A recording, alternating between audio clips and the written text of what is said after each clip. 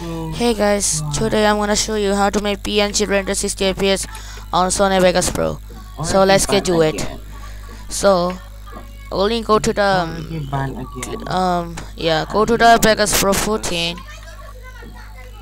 Yeah, go to the Vegas Pro 14. I'm scared because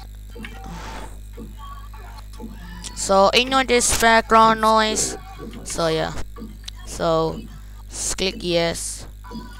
Now what you gonna do? I'm gonna I'm gonna render video right here just like how much does happen so I'm gonna go to render. I'm gonna just show you how.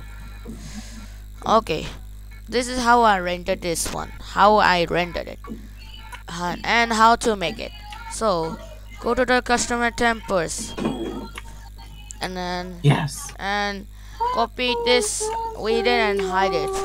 And frame rate should be 60 fps and all of a png render should be here. And then customer size um 614 this should be 736 and 416 and frame should be 60 fps click ok. Now you can do it. Just like render it and you done. Boom! So bye. Thanks for watching